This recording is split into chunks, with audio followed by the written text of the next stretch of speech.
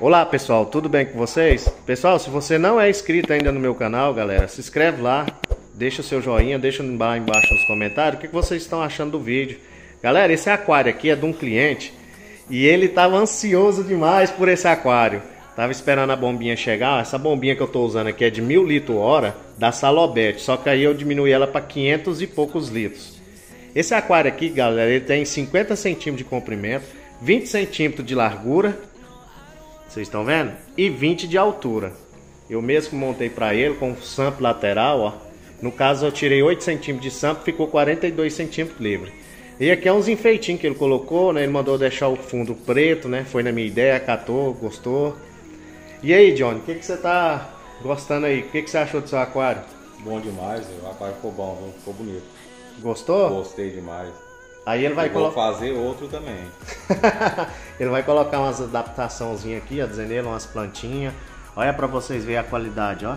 Acabei de colocar ele agora para para começar a ser aciclado, né, para introduzir os peixes dentro, ó. Vocês estão vendo? É isso aí, galera. Deixa lá embaixo nos comentários o que, que vocês acharam do desse aquarinho. Galera, tem muita gente que vai falar aí, você é doido colocar uma bomba de quase de mil litros dentro de um aquário de 20 por 50 por 20? Não tem nada não, galera. A intuição é essa. Quanto mais a, a filtragem, é, a água vem forte para cá, mais o aquário fica limpinho. Vocês me entenderam? Não, não é porque você tem um aquário de 26 litros de água que você vai pôr uma bomba de 200 litros, de 100 litros ou uma de 50. Isso nunca vai dar certo. Vai, vai, vai permanecer os peixes dentro? Permanece. Só que tem um porém. Vai sujar mais rápido, vai demorar a limpar. Desse jeito aqui não. Vocês me entenderam? Então tá aí, ó, para mostrar para vocês um pouquinho, ó.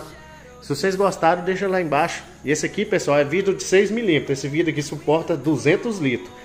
Aí vocês devem, também devem perguntar assim, uai, John, mas por que, que você fez o aquário com vidro grosso? Não podia fazer com 5 milímetros, que daria certo. Daria, mas aí, né, Johnny? Daqui um, um, acontece alguma coisa aí, né? Ô, oh, Johnny, meu aquário rachou. Aí complica, depois tá tudo a biologia, tudo arrumadinho, desmontar, tudo de dentro, né, Johnny? Só você mesmo sabe e a gente sabe que mexe com aquário assim, igual você mesmo sabe aí. Não é uma coisa rápida, né? De ser montado e já jogar peixe dentro. Tem que passar pela ciclagem, tem que passar pela biologia do aquário todinho para introduzir peixe. Demora, né? E a ansiedade. pois é, galera.